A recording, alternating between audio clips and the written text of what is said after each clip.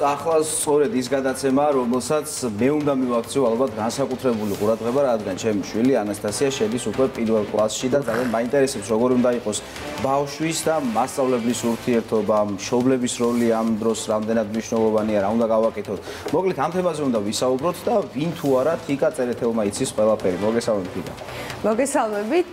მართლა ძალიან მნიშვნელოვანი ეტაპი დგება პირველ კლასელებისთვის, რადგან ეს არის ფსიქოლოგები როგორც ამბობენ, ხოლმე ეს არის ერთგვარი რევოლუცია ბავშვის ცხოვრებაში, იმიტომ რომ ისინი ახალ გარემოში იმკვიდრებენ ადგილს და ბავშვის თვითშეფასებაზე ძალიან მოქმედებს ეს ეტაპი მის ცხოვრებაში, ამიტომ განსაკუთრებული მხარდაჭერა არის საჭირო როგორც მშობლების მხრიდან, ასევე პედაგოგების მხრიდან. ჩვენი სტუმარი იქნება შალვა ამონაშვილი, ჰუმანური პედაგოგიკის ფუძემდებელი და სწორედ ის მოგცემს რეკომენდაციებს, როგორ უნდა მოვექცეთ ბავშვებს განსაკუთრებით დაწყებით კლასებში და როგორ შევაყვაროთ პატარებს სწავლა. რადგანაც ბოლო დროს ძალიან ხშირად ჟღერს ხოლმე ფრაზა რომ ზარმაცი ბავშვი არ არსებობს. თუ ზარმაცი ბავშვი არ არსებობს, მაშინ მიზეზი არსებობს ან მშობელში, ან პედაგოგში, ან ზოგადად პედაგოგიკაში. ამ ყველაფერზე ჩვენ რეკომენდაციებს მოგცემს ბატონი შალო, მანამდე კი მე მინდა პატარა ინტერვიუ ინტერვიუები გაჩვენოთ, სადაც ჩემი მეგობრები, სკოლის მოსწავლეები გვაძლევენ თავიანთ რჩევებს, ასევე რეკომენდაციებსაც და გამოცდილებას გვიზიარებენ და მოდით ვნახოთ ვიდეო. მასშტაბებელი უნდა იყოს ცოტათი მკაცრი, იმიტომ რომ ბავშვებს მისი ეშინოდეთ, რომ როდესაც ისინი ცელქობენ, მასშტაბებმა გააჩეროს. ოღონდ ისეთი კაცრი რომ ბავშვებთან ამხიარულებდეს. ყველაზე მეტად გამიჭირდა ასოების წერა, შეერთება, ამჭი და კითხვა. ბევრჯერ წერდი ერთი და იგივე სიტყვებს და ვცდილობდი რომ კარგად გამოსულიყო ეს ყველაფერი და აი ამით მივედი ჩემს მიზნამდე. თუ ბავშვს კითხვა გაუჭირდა კლასში, მასშტაბი უნდა მოიკითხოს და ისე უნდა იკითხოს. ყოველ დღე ერთი მოთხრობა 10 ჯერ კითხულობდი, მე ნელ-ნელა ჩავდი და მე ვისწავლე. ჩემი აზრით ბავშვები იმიტომ არიან სამეცები, რომ უბრალოდ არ მოსწონს, როდესაც წვავობენ. უნდათ რომ ითამაშონ და გაერთონ.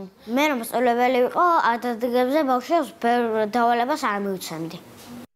რომ მასწავლებელი ვიყო, ბავშვებს ბევრ დავალებას არ მივცემდი ეთყობა, نيكოლას ბევრი დავალება ჰქონდა საზაფხულოდ და ახლა ემზადება ამ დავალებების შესასრულებლად.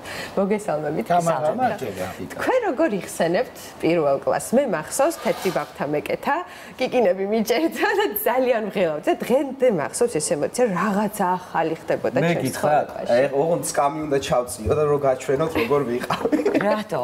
აი, ასე ვიჯი.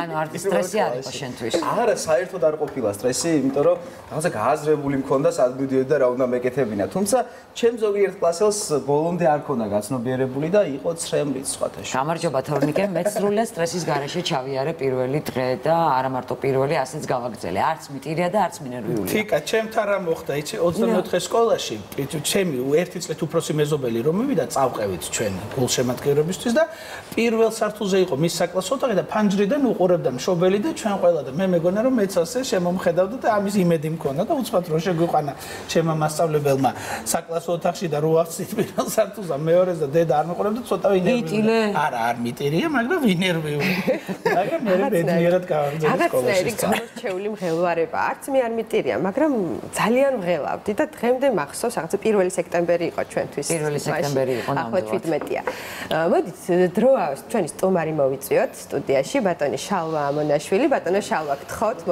მოგბრძანდეთ. ჰუმანური პედაგოგიკის ფუძემდებელი, პედაგოგი, ცნობილი ფსიქოლოგი, რომელიც მოგცემს რეკომენდაციებს ძალიან საჭიროს. არა მხოლოდ პირველკლასელებისა და დაწყებითი კლასების მშობლებს, არამედ ზოგადად იმედის განათლების მინისტრი. როგორ ბრძანდეთ? აი, რა ჩვენ ნახეთ სიუჟეტი, სადაც ერთ-ერთმა ბავშვმა ბრძანა ესეთ რაღაცა, რომ პედაგოგიო ცოტა მკაცრი უნდა იყოს. როგორ ფიქრობთ, უნდა იყოს მასწავლებელი მკაცრი? ეხმენდელი ბავშვები მოსწავლეები არიან რომ თუ კაცრად არ მოექცნენ. არის სწავლიან, ამ წესრად არ მოიქცევიან. ანუ ეს ნორმა არ ერთგვარი უკვე? ბავშვებისთვის ნორმა. დიახ. გამიგედა მასწავლებლისთვის და მოსწავლისთვისაც. დიახ, ორივე. მაგრამ თუ ბავშვს ეცოდნება რომ არის სხვანაირი სწავლება, ეს არ ეთყოდა რომ კაცრი უნდა იყოს მასწავლებელიო. ბავშვს სიმკაცრი კი არ უნდა, ნდობა უნდა.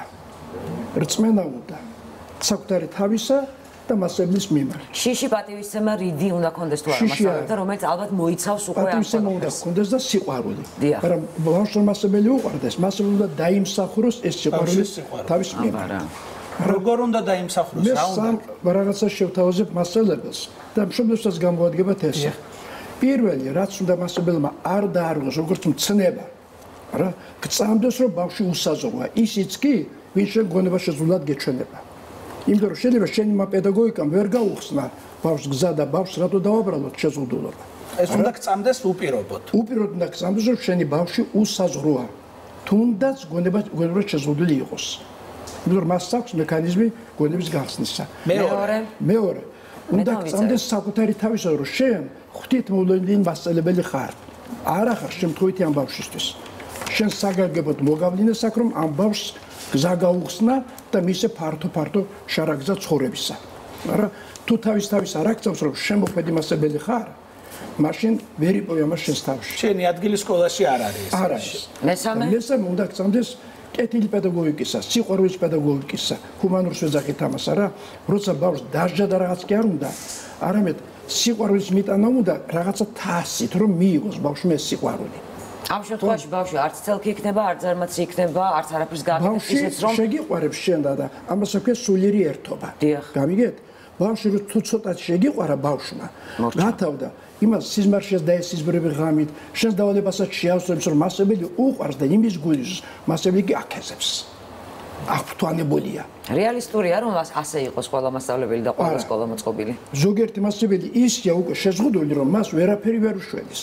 სამწუხაროდ ასე, მაგრამ ბევრი მასწავლებელი რომ სხვანაირი არის. არა, ცხადია, მე ყველაზე არ ვსაუბრობ და ყველას ერთ ქვაბში არ ხარშავ. ძალიან ბევრი კარგი პედაგოგი აი ჩვენ ყავს. მქონია შემთხვევა, იცით აქ საქართველოში, როცა მასწავლებელი, ჩვეულებრივი მასწავლებელი იყო, მაგრამ ჩვენს თანამშრომლობაში ბრწყინვალე აღმოჩნდა მე. გამიგეთ, დამსახურებლის გახდა, ჯილდოებიც მიიღო, დეპუტატად აირჩიეს და ადაცაცხში კი იყო უბრალო მასწავლებელი. აი რას ასწავლით ხოლმე ასეთ დროს პედაგოგებს აი თავის თავის წმენას. პირველი რომ მასწავლებელს სწავდეს რომ მე ვარ შემოქმედი, შემიძლია მე, მე და შემიძლია. მე იგი ალბათ ბავშვსაც უნდა ასწავლოს ხო მე მე ბავშვის რწმენას ვასწავლი და ვაზრით უკვე მე ტექნიკას.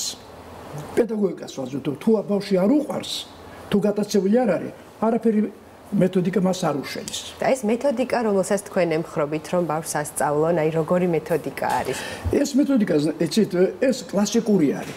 ეს გოგებაშვილის მეთოდიკა არის. აი გოგებაშვილს აქვს ერთგან ნათქვამი რომ ბავშვს ისე უნდა ვასწავლოთ რომ ნახევრობით ცნობილი იყოს და ნახევრობით არაო. ახლა რომელი მასწავლებელი აკეთებს სამას რომ მიიტანოს სოდნა რომელიც ნახევრობით ცნობილია ნახევრობით არა. თუ ეს ასია, ბავშვის ინტერესი სპეციალურ მექანიზმის გარშე აღმოცენდება. აინტერესებს. რაც იცის და არ იცის. ხო, მას როგორ აუგოთ ჩვენ სასწავლო ერთეულები, როგორ დაუხატოთ დაფაზე, ან როგორ კომპიუტერით მივცეთ ეს არა, ეხლა ათანზარი ტექნიკაა და ეს თუ არ გამოიყენეს, სირცხვილია. თუმცა მასწავლებელი მივხვდი რომ უნდა ემზადებოდეს საგანგებოდ ყველა გაკვეთილის წინ, ყოველ დღე. გაკვეთილი ჩვენთვის, იცით, ამ ჰუმანურ პედაგოგიკაში ეს არ არის, რომელიც ჩავატარე. ანუ სპონტანურად არ ხდება გაკვეთილის ჩატარება. გაკვეთილი და მეუცნა ბავშვს როგორც საჩუქარი. დიახ. მიდიხარ როგორც სექსის საჩუქარი დღეშენ, ნუ ახლა რა მოხდა? მე ისე დამუშავდება ეს გაკვეთილები რომ დიდი ფიქრი აღარ დაგჭირდება, როცა შეხვალ ეშხში. დიახ. ხო, მაშინ გაკვეთილები თავისით მოგდის. სხვა რეალობა სკოლებში, სხვა რეალობა გვხდება ზოგჯერ. ხშირ შემთხვევაში, მოდი ასე ვთქვა და ბავშვებიც ვერ უღებენ ალღოს იმ სიტუაციას, რაც ხდება სკოლაში. მშობელმა რა უნდა გააკეთოს ასეთ დროს? რა შეიძლება რომ მასწავლებელთან ურთიერთობის კუთხით რაღაც სხვანაირად რომ მიუდგეთ და ბავშვი უფრო მეტად ჩავთო თქვა სასწავლო პროცესში. როცა მშობელი მომადგება და მეკითხება რა ვქნაო, მე რიგში ურჩევ. სკოლა კი არ აირჩიო ეს ნომერი თუ ის ნომერი თუ რა რა- რა ნერი სწავლება.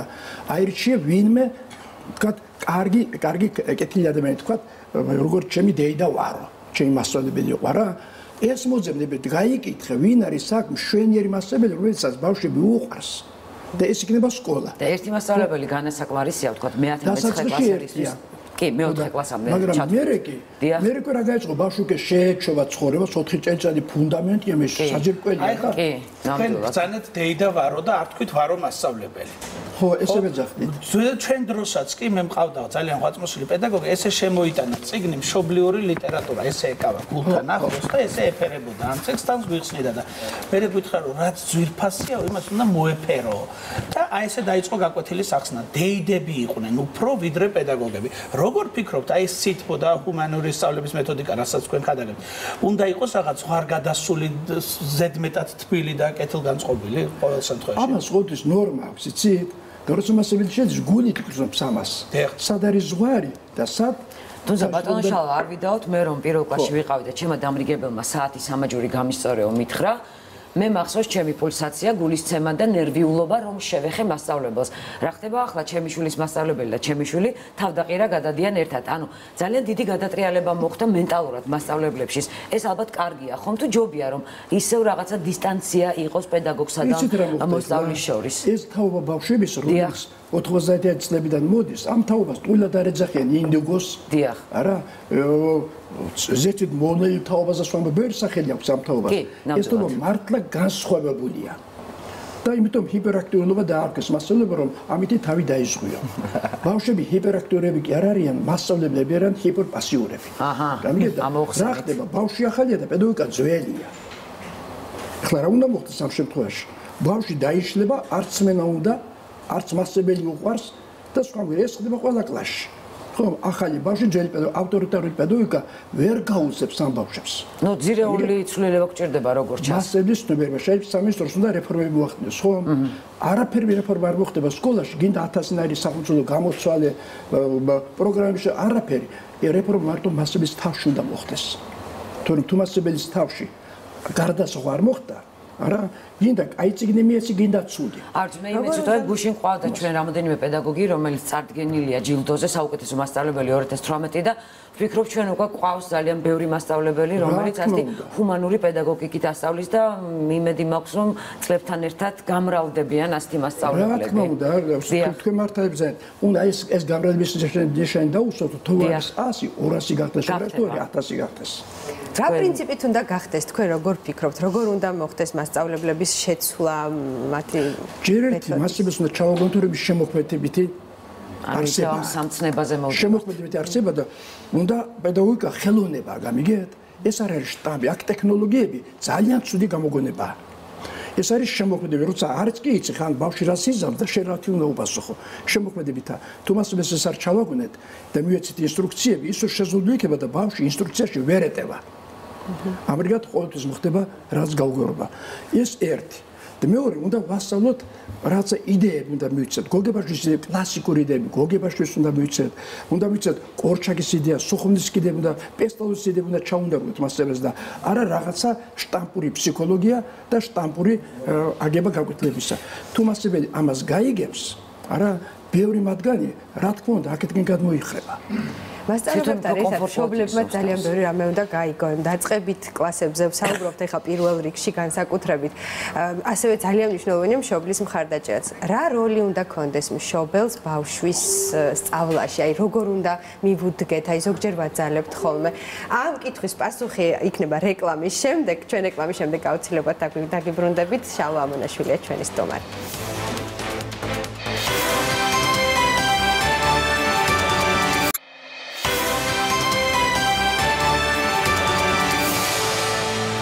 წესები მშობლებისთვის დაბრუნდა პირდაპირ ეთერში საუბრობ ჰუმანურ პედაგოგიკაზე. ჩვენი სტუმარია ამ პედაგოგიკის ფუძემდებელი ბატონი შალვა ამონაშვილი. ბატონი შალვა ჩვენ შევჩერდით ამ შეკითხვაზე რა ფორმით უნდა იყოს მშობელი ჩართული? როგორ ხშირად მშობლები აძალებენ ხოლმე ბავშვებს სწავლას. აი რა ფორმით უნდა იყოს ჩართული ჩვენ შევაყვაროთ ჩვენ შვილებს სწავლა. ბავშვების ცხოვრებაში მარტო სწავლა არ არის. სწავლა ცხოვრების ერთი პატარა ნაწილია. მაგრამ თავად ცხოვრება თამაშია ურთიერთობა სხვა მგრეს ძალიან დიდარი გარიმოა და მარტო სწავლით ნუ შევწოდა. მე მინდა მიმართო ქართულ მშობლებს, რომელსაც დიდად პატივისცემს და მიყვარენ ისინი, რომ რო უთრო უნდა ბავშვი გიყვარდეთ მეთქი, ეს ცოტა არა, უნდა უყვარდეთ ბავშვი ნაზად. ბავშვი სიყვარულს ცოდნა უნდა. ნაზად არ შეიძლება ყვირელი გიყვარდეს ბავშვი, დაჟეთ გიყვარდეს, მუქარეთ გიყვარდეს ბავშვი, საჩუქრებითაც არ შეიძლება ბავშვი გიყვარდეს. ეს მოსყიდვა ერთგვარი მშობლები ხანდახან მოვისყიდით ხოლმე ბავშვს საჩუქრით. დიახ, ეს ეს მიყავს ბავშვი გარეთ. დიახ. ჩვენ კი არ გვიახლოს პირიქით, მაგრამ თუ იყვარს ბავშვი ნდობით ადერსი თუ გიყვარს, იმედი თუ გიყვარს ბავშვი, არა? თუ გიყვარს ბავშვი, იმით რომ დროს ნახულო, მას რომ ითამაშო, წახვიდე, მასთან ერთად იყო სადღაცას, ხო? ეს სიყვარული სხვანაირი სიყვარული იქნება. აი ჩვენ საჩუქებში ვაღრჩობთ ბავშვს, სათამაშოებში, ან რაღაცა ნებირობებში და გონიო რომ ამოუწურეთ ჩვენი სიყვარული. აი თუ ასე გვეყარება, მაშინ დასაშინო დალევები სხვანაირი გახდება, გამიგეთ? ბავშვი ჩვენი სულის ნაწილი გახდება, მაშინ ახლა ხორცის ნაწილია. სულის ნაწილი როცა ეტყვის დედა რომ შილო შენი ჭირიმე, მოამზადე რომ ერთად რაღაცა გავაკეთოთ, ან გავისერნოთ, ან მამას დავეხმაროთ, ან რაღაცა, არა? ბავში დედის სიტყვას დაიჭერებს და დაждდება. ბატონო შალ, აკადემიური მოსწრება ამ შემთხვევაში ბავშვის უკეთესი იქნება, ვიდრე ხორცელად რომ გვიყვარდეს ბავშვი, ხოლო სკოლას დაუბრუნდი ისე. საგურველია უკეთესი იქნება. მოტივი უჩდება ბავშვს. გამიგეთ, ჩვენ რასაც ვაკეთებთ, ხადის ვაკეთებთ, მას შორს ამ მოტივი გვაქვს რა. ხადია. თუ მოტივი იძულებითია და არ მინდა, მაშინ ის ას ხარისხი გამოდის ასევე ბავშვიც, იცით? როცა უყვარს მას ებელი, დაждდება და გააკეთებს სიყვარულით. ხო, იმიტომ რომ ელოდის მასწავლებელი გაიხარებს, მოეფერება, გაუკვირდება, გაუკვირდება პირველ რიგში. ხო? როცა ბავშვი ამას ელის, მოტივი აქვს. როგორ ბაზისურ მოთხოვნილებებზე საუბრობთ, აუცილებელია, მაგრამ არის იცით ორი ფსიქოლოგია. ეხლა სარგებლობს მთელი სკოლა მართვის ფსიქოლოგიით, მაგრამ არის თანხმობის ფსიქოლოგია. თანხმობის ფსიქოლოგია სულ სხვა გარემოსაქმნის მასწავლებლ მოსწავლეს შორის. ანუ ის ორივე უნდა თანხმდებოდეს ერთ რაღაც მთავარ იდეალზე. თანხმობის ფსიქოლოგია სამი კომპონენტი აქვს. ბავშვს უნდა განვითარება. აი მოკდება და უნდა განვითარდეს. უნდა თავისუფლება. არ არ მიიღოს თავისუფლება, დაიჩაგერება. და უნდა დიდობის მოთხოვნილება. ახლა თუ ჩვენ ურთიერთობაში დავაკმაყოფილებთ განვითარებასაც, დიდობასაც და თავისუფლებასაც, ბავშვი ჩვენი ის ვერსად ვერ გაგვექცევა ჩვენ. დიახ. გამიგეთ? არა და ბავშვები თითქოს აი შეხედეთ ჩემ ხელს თქვენ აქედან ისწრებთ შვილს. დიახ. არა? და როცა არა თანხმობის ფსიქოლოგია ის მეორე ცხოვრება საკეთგან აგებს. და ეს მე აზრზე არა ვარ, რა ხდება იმის მიღმა. დიახ. იქ თუმე სიგარეტს ეწევა, იქ თუმე ცუდი ამხანები, იქ თუმე რაღაცა გააკეთა, რა? აკი ამას ხედავთ. მომართალია. და კვაყოფილი ვარ. რა ხდება? როცა თანხმობის ფსიქოლოგია გვაქვს, ის თქვენს ინტერიერებს აი ესე გამიგეთ რეალებს. და ყველაფერს ხედავთ. გიზიარებთ ყველაფერს. ბატონშალო, პირველ კლასელების თემას რომ დაუბრუნდეთ, პირველ კლასში უნდა შევიყვანო ბავშვი 17 სექტემბერს. რა უნდა გავაკეთო, რა არ უნდა გავაკეთო? პირველი დღეა, რა ვშვებ? მივდივარ სკოლაში. პირველი დღე არის თუ არის? მიხვალ სკოლაში, რაც ქვია საზემო განწყობილება და მე მიართვი თაიგუს მასალებას. თაიგუდი გაუღიმე მასალებას, კიდე ჩაიხუტე ეს მასალები უთხარი.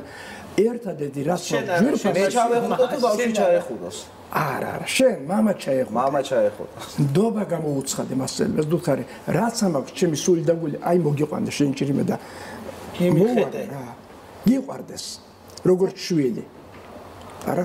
და ეს გაზრებული. მე და ვერდით მიყველი ერთგო. აი ეს უნდა გააკეთო პირველი. ასაგე. გავითვალისწინებ აუც. ხო. მაგრამ მე რომ მივართვა და თორნიკემ არ მიართვას ის მასწავლებელი ჩემ ერთმეულის გამო უფრო ყურადღებას მიაქცევს. არა, არა, მაგის გამო მასებლის გული თუ გახსნილია. ყველასთვის გახსნილია. ეს არა, მაგრამ რა გიკითხეთ ახლა რა? მე რომ მივიყვან ახლა ჩემი შვილი შვილი შვილი. არა? შვილი შვილი შვილი. ხო, გასაერთობა. უთოთ თაიგულით მივიდოდი. მოეფერებოდი, იმეც გამოუცხადებდი, თვალებში ჩავხედავდი, დავხატავდი. გამიგეთ? რაც აკლია, იმას მივაწერდი. და ბავშვი ამით უფრო დაცულია, ხვდება რომ мама არის მინდობილი ამ ადამიანზე, ესე იგი მეც უნდა მივენდო. რა თქმა უნდა. და არა მარტო თქვენ შეიძლება სხვას მიმართაც იქნება ასეთი მასალებები. ასე იგი. მეგობრებო, ბატონ შალვას აქვს ძალიან საინტერესო ტრენინგები კახეთში. ის სხვადასხვა ქვეყნიდან იწვევს ხოლმე ადამიანებს და ლექციებს უტარებს. ოჯახებს უტარებთ ხოლმე ბატონო შალვა ადამიანებს ლექციებს. ადრე ჩვენ მასწავლებლებს უტარებთ, მაგრამ ახლა ოჯახებმა გადაგწალა. და ყოველწლიურად ჩვენთან ბუშეთში, სადაც გვაქვს ყველა პირველა რომ კურსები ჩავატაროთ, ჩამოდის აი წელს მაგალითად 1200 კაცი ჩამოგვიდა. მოდით ნახოთ სიუჟეტი, ჩვენი გადამღები ჯგუფი იყო ბუშეთში წასული და მე ვისაუბროთ ამ თემაზე.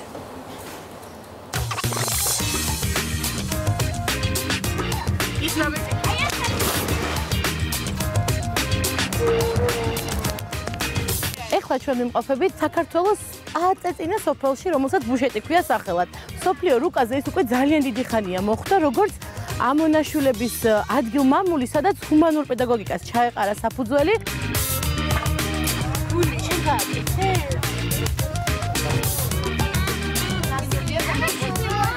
ჩვენი კარმიდამო გადავაქციეთ ერთგვარ განვითარების ცენტრად, სადაც ჩამოსული სტუმრები სწავლობენ ფსიქოლოგიას, პედაგოგიკას, ბავშვებთან ურთიერთობას.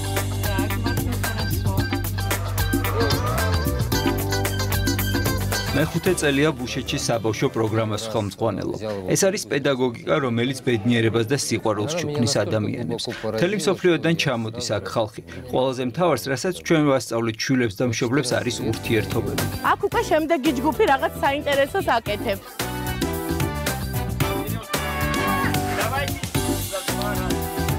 ვისი და ვორსტის ყოველ ზაფხულს ჩამოვდივარ აქ იმისთვის, რომ უბრალოდ სიყვარული ვისწავლოთ, ვისწავლოთ როგორ ვიკონტაქტოთ ბავშვებთან და მივიღოთ რეკომენდაციები შალვა ამონაშვილისგან. ბავშვებთან ერთად ჩვენც ვიზრდებით, ვიღებთ ახალ ცოდნას და მნიშვნელოვან რეკომენდაციებს. მაშინ, როდესაც მშობლებს 10 დღის განმავლობაში აქტიური სალექციო კურსი აქვთ, ბავშვებს თავიანთი ასაკობრივი პროგრამები აქვთ, რაც მოიცავს კოცონთან ძალიან საინტერესო საუბრებს საღამოობით და რაც მთავარია ლაშქრობებს. მისწავლე სირთულების დაძლევა. ბავშვობის პერიოდი ისეთი მოკლეა, რომ ყველა მშობლება მშობელმა უნდა მოასწროს მის ეს ბავშვ მიმართულება, რომ იყოს ბედნიერი. We came from Germany. გერმანიიდან ჩამოვედი ჩემს ოჯახთან ერთად. მარტო მეგობრებს კი არ აქვს საკუთარ თავსაც აღმოაჩინა.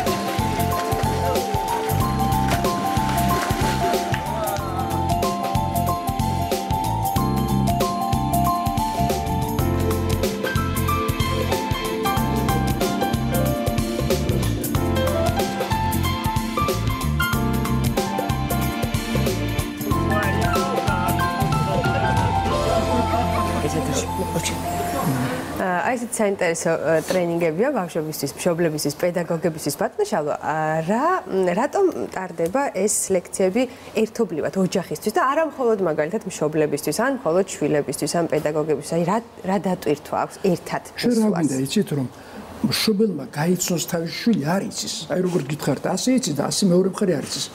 ესე გავაცნო ჩვენ ან ვასწავლოთ როგორ უნდა გაიცნოს შვილი. ან შეიცნოს. ხო, როგორ უნდა შეიცნოს შვილი რომ შვილმა დედა დაინახოს. შესაძლებელია ეს მეთოდები, როცა ბავშვი დედა და შვილი, ან мама და შვილი ტერიან, ისე ჩახუტებული ვერენ ერთმანეთთან, იმიტომ რომ რაღაც სხვა გაუგეს ერთმანეთს. აი ეს გვინდა რომ ერთმანეთი დავანახოთ მათ. გარდა ამისა, გვინდა მშობლებს მივცეთ ცხოვრების ფილოსოფია.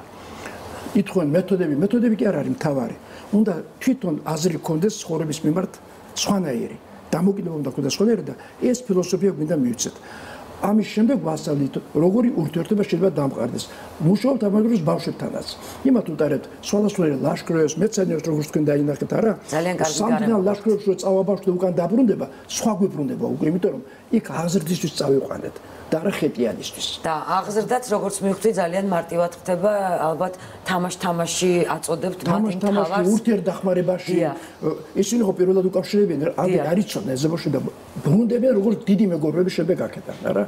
აი ეს აზრი აქვს რომ ერთმენტი დავანახოთ, ერთმენტს შევაჯორო და როგითაც მართალი ზოგიერთი კიდეც ირთავს სოლად ვიღაცას მერე ბავშვებს ნათლავ ჩვენი ბავშვებს. წელს მაგალითად 12 ბავშვი მოუნათლეთ.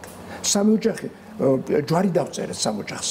არა აი ესეთი ამბები ტარდება იქ. იცით იქ ახლა რაზე ვფიქრობ, როდესაც ესეთი პრობლემაა ჩვენს ქვეყანაში განათლების სისტემაში, ერთ-ერთ ყველაზე უხერხებლად მიმართული არის ამდენი წლის განმავლობაში, რომ არის ესეთი ადამიანი, რომელიც იქით მიდის ხოლმე სამინისტროში და სთავაზობს ამ პროექტებს და არავინ იქიდან არ უკავშირდება, აი ეს არის პრობლემა, ძირფასო სამინისტროს წარმომადგენლებო, წინა მინისტრებო, რომლებიც თანაც მოსულა თქვენთან ბატონი შალვა და თქვენ მე აღარ დაკავშირები ხართ. თორსა ესეთი ადამიანი უნდა მოусმინოთ, გაუფრთხილდეთ და ამ მეთოდით უნდა გავზარდოთ ჩვენი შვილები იქნებ ეშველოს განათლების სისტემას. ისე რომ მილიონობით მაყურებელი ვინც გაიზიარა მისი მული ჩვენთან ბრძანდებოდა ბატონი შალვა დაახლოებით 2 თვის წინ მოსახლეობამ მას ითხოვს მინისტრად განათლების.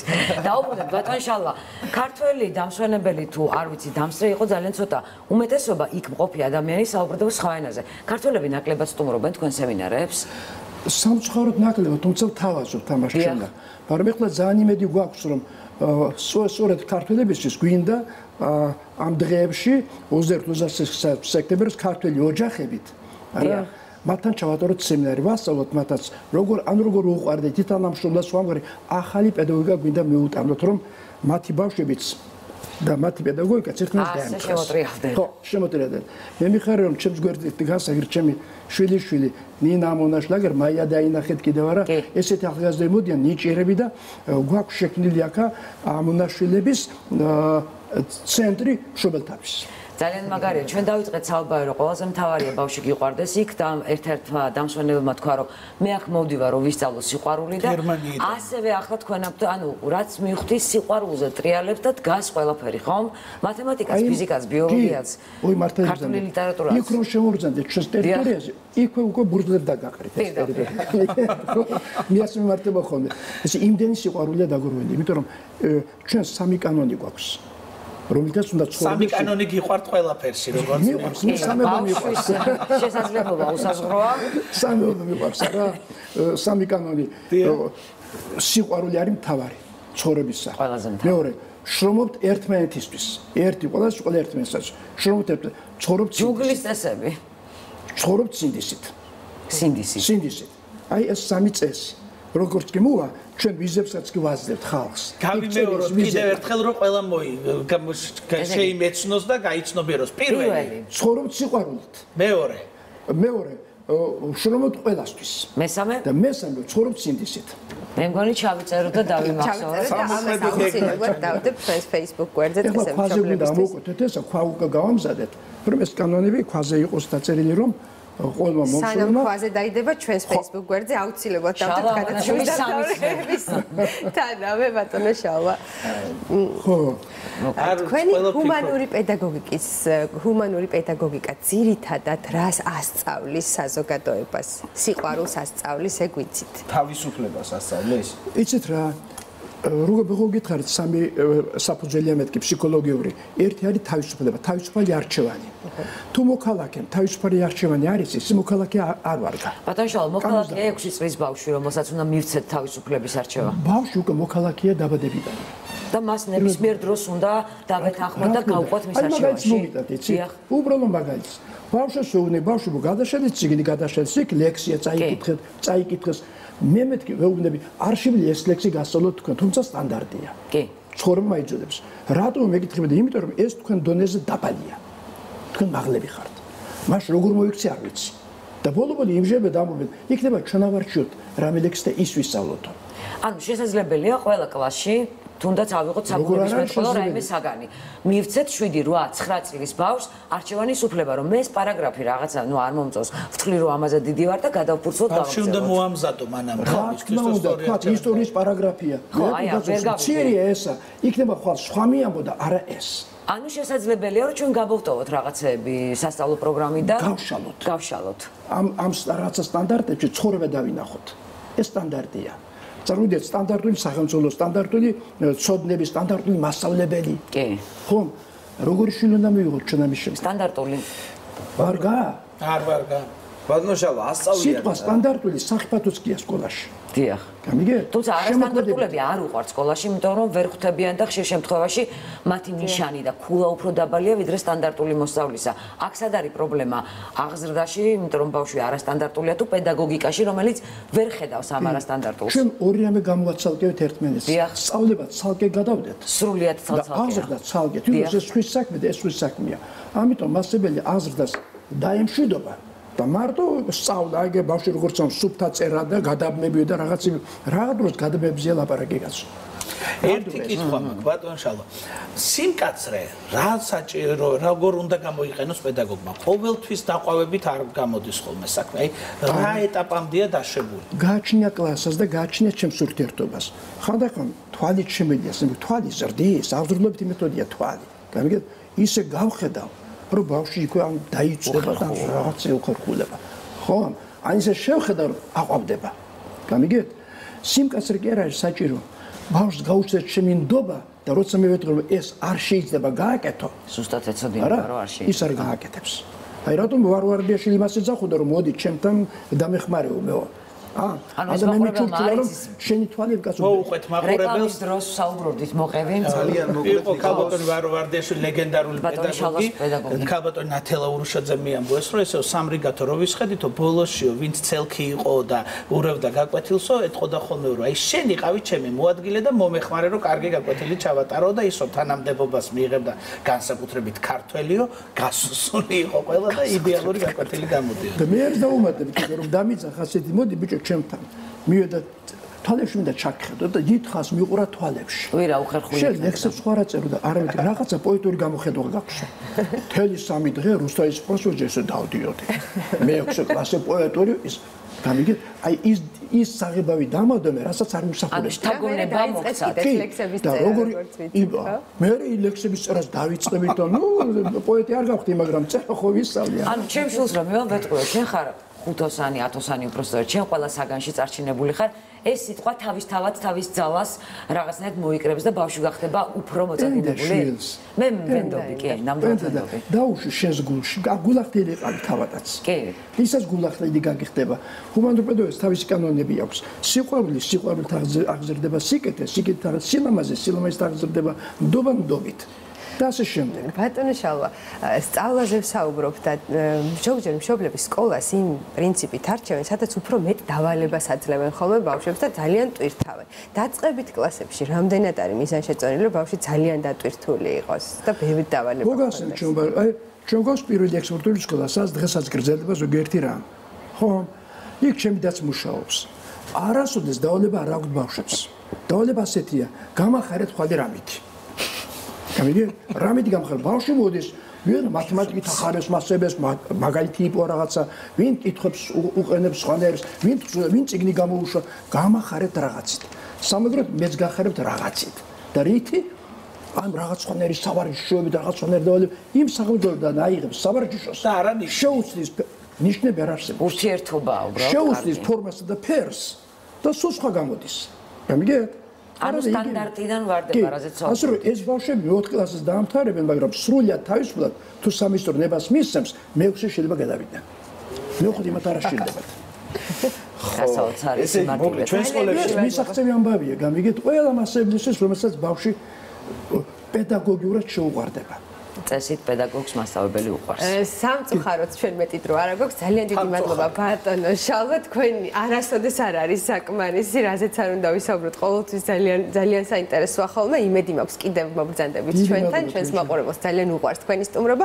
ძალიან ბევრი მნიშვნელოვანი აქცენტი გაკეთდა. ახლა და ყველაზე მთავარი რაც ჩვენ ახლა ვისწავლეთ, ეს არის სიყვარული უნდა ბავშვს, შრომობთ ერთმანეთისთვის და ცხოვრობთ სინდისით. ეს არის სამი კანონი, რომელიც ბატონმა შალვამ გვასწავლა. კიდევ სხვა ბევრი კანონი გვასწავლა და მე ამას ყველაფერს ჩვენს Facebook გვერდზე აუცილებლად დავდებ წესები მშობლებისთვის ჩვენს Facebook გვერდს მე ხუჩაბათამდე გემშვიდობებით. ნახავთ